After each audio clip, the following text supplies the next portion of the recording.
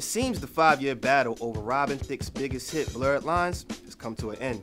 The family of Marvin Gaye has been awarded a win in the most recent appeal case. The Ninth Circuit Court of Appeals sided with the soul singer's estate, citing that his 1977 song Got to Give It Up was entitled to broad copyright protection because musical compositions are not confined to a narrow range of expression. His track was infringed by Pharrell Williams and Robin Thicke's hit, which lifted portions of the melody and instrumentation. Naturally, this comes with a heavy consequence. Skateboard P and Robin Thicke will have to pay 50% of all royalties for the rest of their lives to the estate of Marvin Gaye. Luckily, T.I. wasn't included in the ruling, but this does raise the question, what happens to musicians and their samples and interpolations moving forward? What was the biggest hit of 2013 now has the hitmakers giving it up. But what do you think? I'm Adam Ford with the Morgan Minute.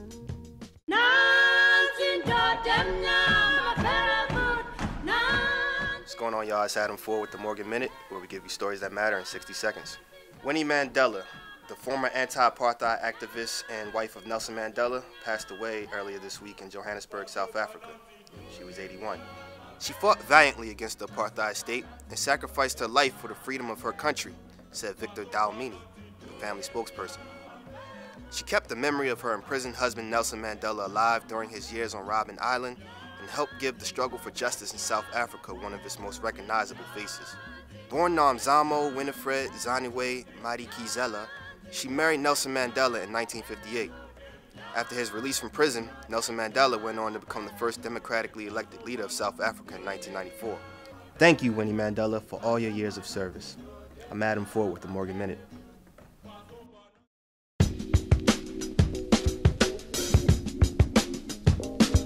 Going on, y'all? It's Adam Ford with the Morgan Minute, where we give you stories that matter in 60 seconds. Did you know there was a time you had to actually call to book movie tickets? Crazy, right? Smartphones changed all of that. And now a new deal with the MoviePass app and the old brand Moviefone, bridging the gap between old and new. And if you didn't know, MoviePass is the popular app where you pay $9.99 a month to be able to see a movie a day at participating theaters. It's an irresistible deal for young adults, and the purchase of the once giant Moviefone is hoping to bring Groupon-like bonuses and more to the app. In any event, MoviePass plans to dominate the movie theater industry with this business move. Now's a great time to invest if you're a young adult. I'm Adam Ford reporting with the Morgan Minute.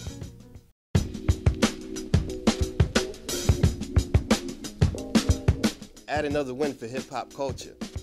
Kendrick Lamar's last album, Damn, is receiving a Pulitzer Prize. First time work outside of jazz and classical genres has been recognized in that category. In the Monday announcement, the Pulitzer Board described the album as a virtuosic song collection unified by its vernacular authenticity and rhythmic dynamism that offers affecting vignettes capturing the complexity of modern African American life. Damn, released on April 14, 2017, is Kendrick Lamar's fourth studio album. It won the Grammy for Best Rap Album and was among the nominees for Album of the Year. Gotta give props to the damn MC. Respect, brother. This is Adam Ford reporting for the Morgan Minute.